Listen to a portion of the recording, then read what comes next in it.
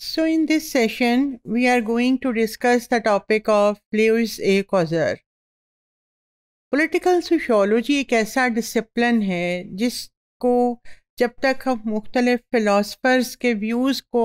ना समझें उनका एनालिसिस ना करें तो पॉलिटिकल सोशोलॉजी की समझ नहीं आ सकती क्योंकि कोई भी डिसिप्लिन कोई भी इल्म जिसका ताल्लुक बुनियादी तौर पर इंसानों के साथ हो और इंसानी माशरे के साथ हो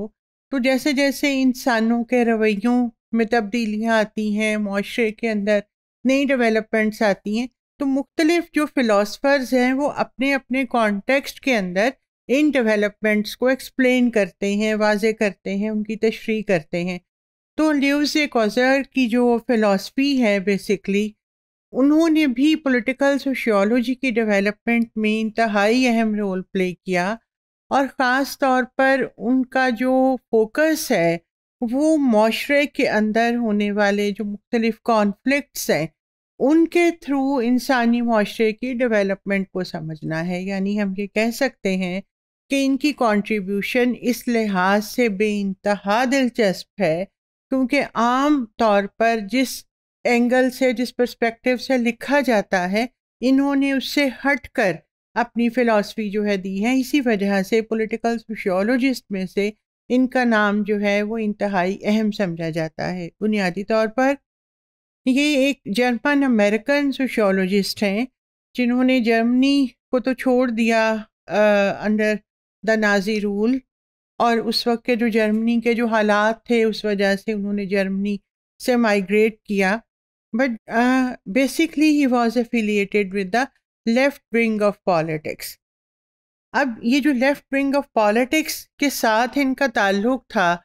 इसके लिए इन्होंने, चूँकि पहले बहुत ज़्यादा उस वक्त के हालात में जो मुख्तलिफ़ पार्टीज़ थी, उन पार्टीज़ के अंदर होने वाली पॉलिटिक्स को, उनके बुनियादी नुक़ नज़र को समझा और फिर अपनी चॉइस के साथ एक ख़ास एंगल के पॉलिटिक्स को ज्वाइन किया। लेकिन उसके साथ जो सबसे अहम बात है, वो ये है कि जो इनकी कंट्रीब्यूशन है रिगार्डिंग द लिटरेचर कि मुसलसल काम इन्होंने किया और उस काम के साथ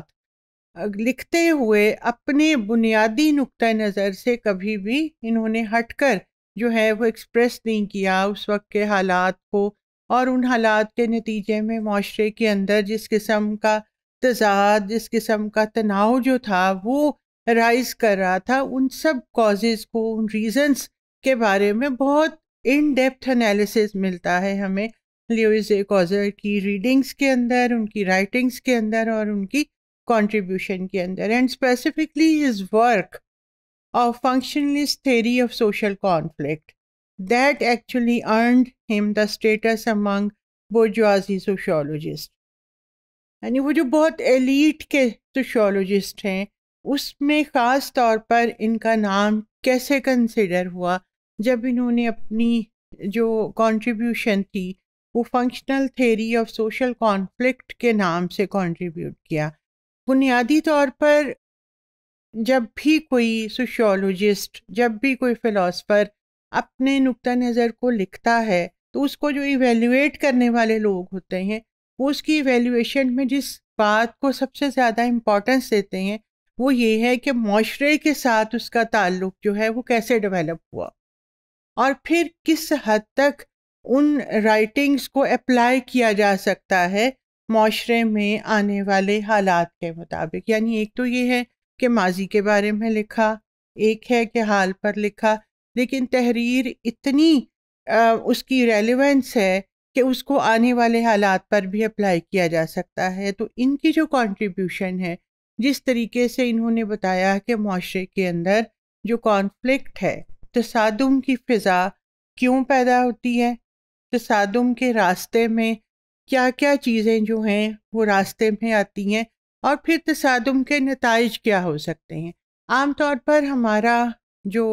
नुक़ नज़र होता है या हमें जो मालूम पहुँचती हैं, मुख्तलिफ़ लिखने वालों के ज़रिए, वो यही होता है कि तसादम जो है वो एक ऐसा ख़तरनाक रास्ता है, जिस पर मुआरा तकसीम हो जाता है।